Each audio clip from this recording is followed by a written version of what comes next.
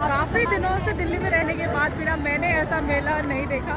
स्वागत है आप सबका आज के इस मिनी ब्लॉग में और मैं अब आपको दिखाऊँगी दशहरे का मेला कैसा होता है। And I am just enjoying like anything इससे पहले मैं डांडिया करके आई हूँ। And now I am showing you the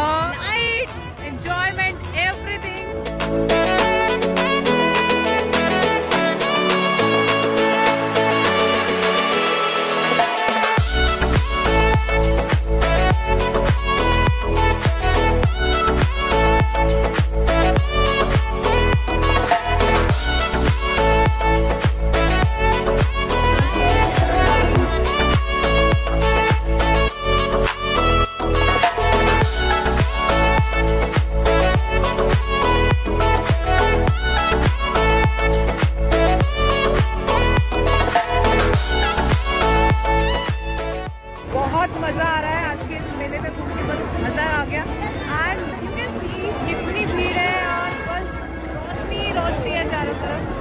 Happy Dussehra to all of you काफ़ी दिनों से दिल्ली में रहने के बाद बिना मैंने ऐसा मेला नहीं देखा।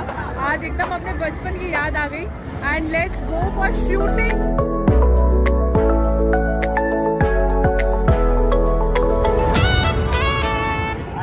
और ये आर्या शूटिंग करते हुए।